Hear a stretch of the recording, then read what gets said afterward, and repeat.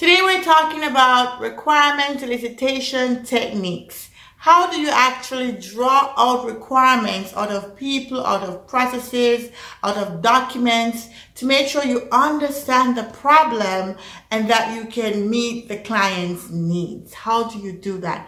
That is what we're talking about today. So it makes no sense to skip this video or to try to rush ahead because it's all to be good.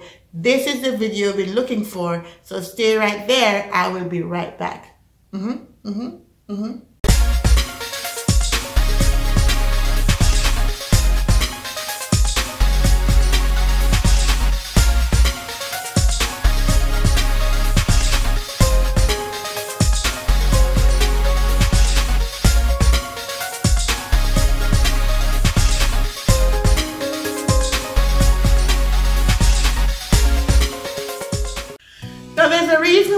Call it requirements elicitation and not requirements gathering. I've seen people say requirements gathering and you know, I know that people just use terms without really thinking through it.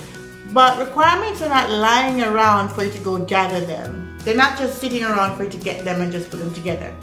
That's not what's going on, right? So you have to elicit, you have to draw out, you have to get to the get to the root cause. It's not very obvious you have to ask and probe until you actually get the responses that itemize and show what the actual requirement is, right? So I just want to say that it's not requirements gathering, it's requirement elicitation. And how do you do this? Now there are many techniques that we can use, right? Um, and those include interviews, brainstorming, um, workshops, um, observation, you know, process modeling or business modeling. All of these are different techniques that you can use. But really, it's not so much about the technique, but more about when to use the technique. Like when is the best time to actually use a technique to find out or to draw out requirements. It's a very, very, um, I would say, a, a very specific skill that you have to have. And this is the root this is the, the, the root of being a business analyst. If you're not able to actually elicit requirements, then you're not worth your salt. so it's just the truth. Like this is what makes you the better person to have on the team than just anybody, right? You could always say a developer can go write code if you know what to write. The problem is what to write. How do you know what it is? And that's where the elicitation techniques come into play.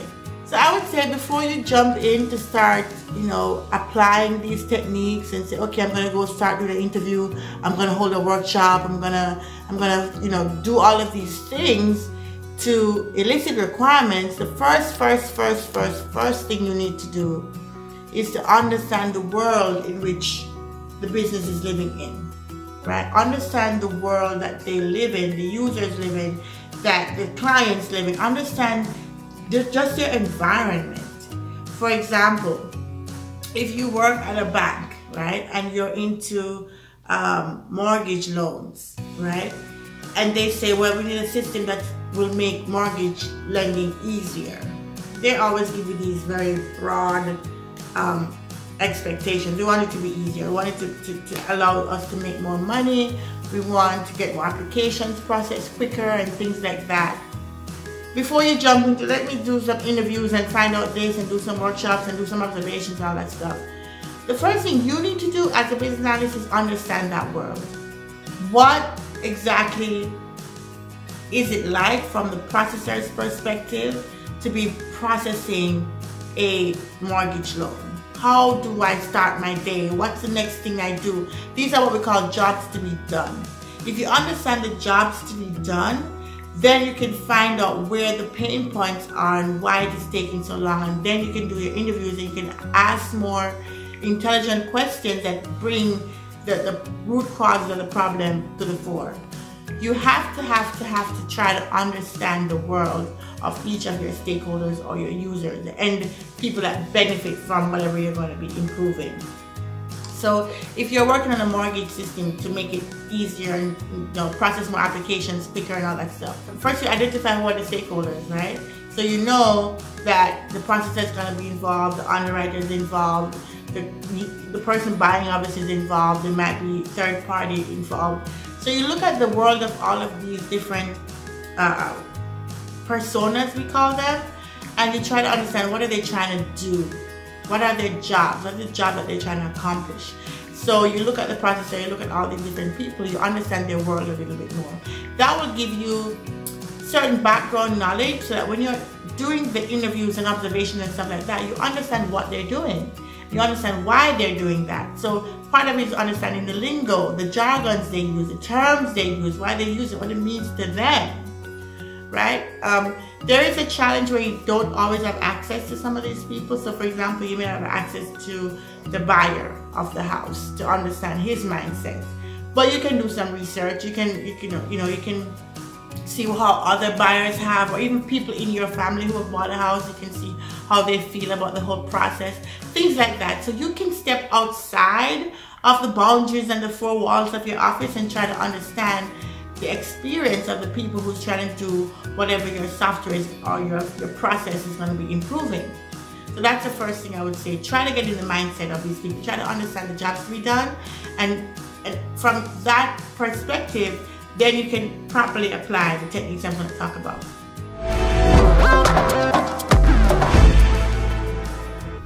So interviews.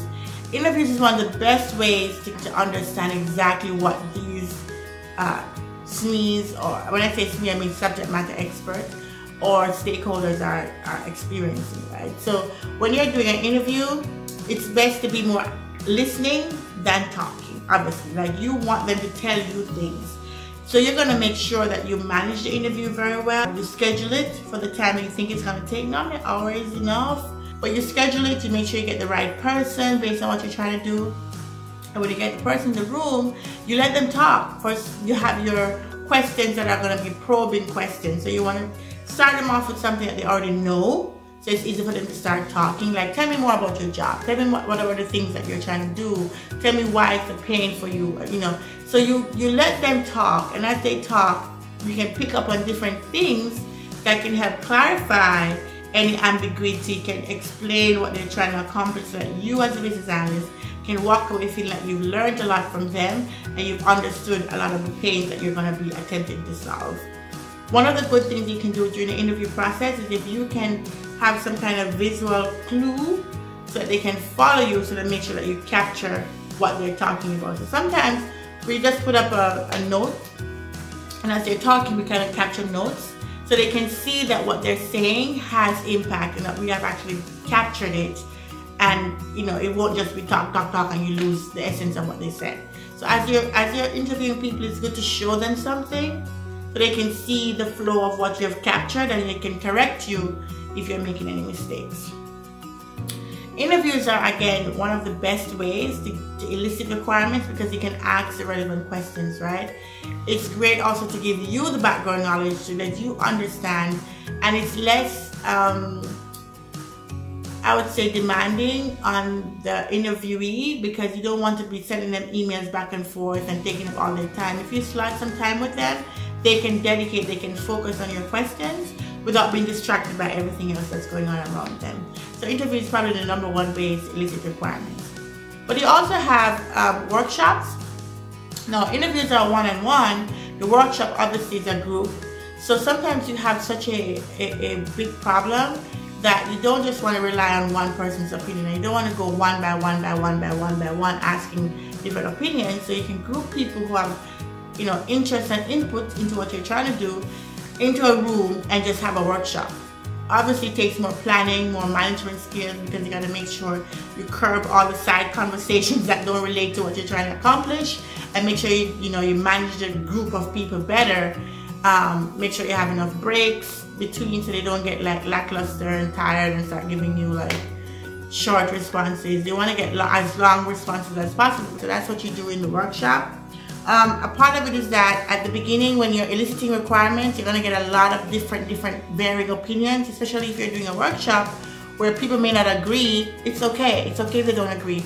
It's good to get differing opinions and then when you sit down to do your analysis of the feedback, then you can see and clarify you know, with them which, you know, which direction to go. So it's okay if people don't agree. You just want to make sure that you capture all the different opinions and that feeds into your pool of information that will inform what you decide or what you propose to be the best solution to the problem. Another elicitation technique is observation. And this is very simple, right? You can just observe and see how people are doing things and that can lead into um, some requirements as well. So for example, if you you work at an airline and you saw that people are joining the line, waiting long time in line, getting up to the booth and then they have to lift up their bags and put it on the scale and then they have to take it off and change you know what's in there because it's too too heavy. You could just observe that. You don't need to actually go talk to them. I'm sure you know that they're frustrated because they have to change the weight. So part of the solution, which many airlines have done, is to give you a scale and so you can just come and check on the scale without having to join the line first, you know, so you can know if your bag is overweight or not and you can make the adjustments outside of the line so you don't hold up the line while you're taking things out of your suitcase to match the weight, you know, restriction. So things like that. So observation is a great way um, it works in some places, it doesn't work all the time, but it's always good to to have this in your back pocket as well, you know, to observe. Another way to elicit requirements is through business modeling. So you've this is probably in conjunction with interviews and so on. You could have understood just the world but it's great to kind of put those on pic in picture format. Say, okay, this process leads to this, and then this leads to this. So I'm talking about your flow chart diagrams, your UML diagrams. It's just a way for you to graphically represent what you understand about the process. And by doing that, you may reveal things that you wouldn't have otherwise seen. So for example, if you're at a decision point and it's like, if it's true, then there's this process. What if it's not true? Like, what do we do now? So that would reveal that, hey, there's a requirement here that if this doesn't work out, what do we do in this case? So just by modeling it out, it forces you to think through each of the steps and that can reveal requirements as well. The other thing is your process walkthrough. So this is again something you do in conjunction to an interview or a workshop where you have the SMEs, the subject matter experts in the room and you would have modeled the process already and you're saying, okay, this is what we've come up with, and you walk it through with them. And they, because they have so much knowledge, they can say, nope, that's not where it goes. If that's if that doesn't happen, then this is what we do, and they can correct you. And so for that approach, what you get is you show them something and it's easier for people to correct something they're looking at than to come up with something that's like on a blank piece of paper, you know, like if you show them an empty whiteboard, it might be hard to come up with all of the, the, steps, but if you show them what you've already come up with, it's easier for them to correct it and to tell you where you're going wrong.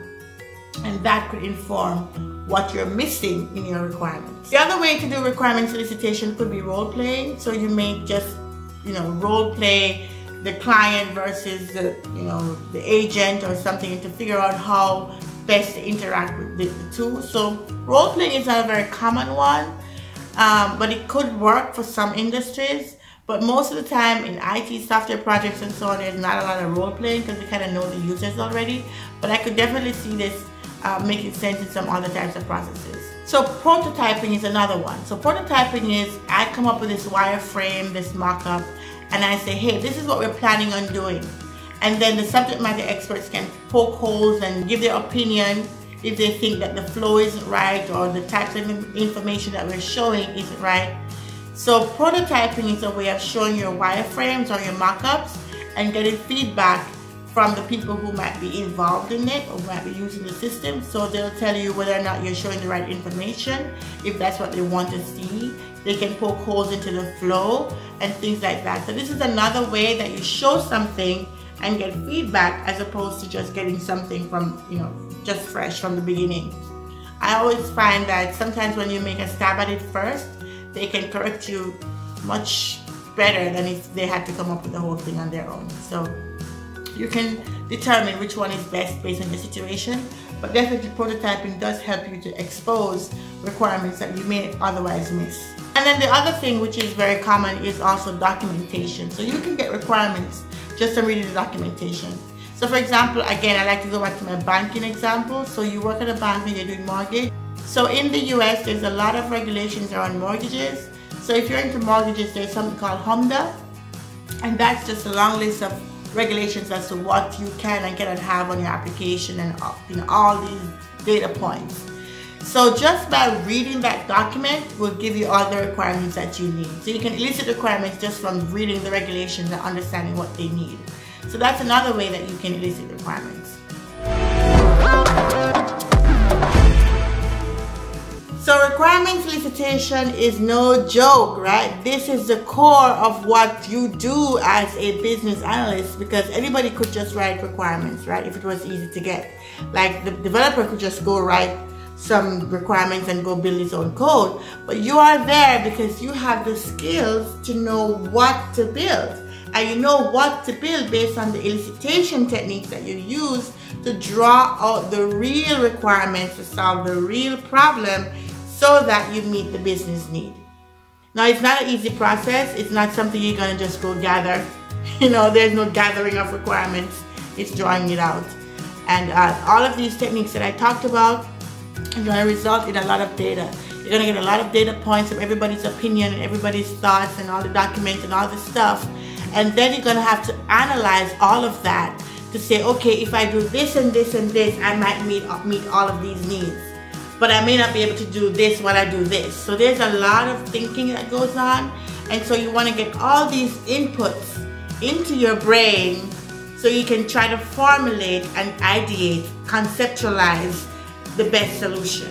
So you may not have a perfect solution, but you want to make sure that you are solving for the majority of the needs that was expressed uh, during your elicitation exercises.